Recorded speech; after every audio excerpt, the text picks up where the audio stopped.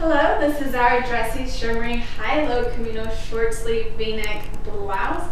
It is short from the front and long from the back. So you can't really see, but the top is clinched with the kimono sleeves. It is a nice elegant shirt, very nice and shimmery.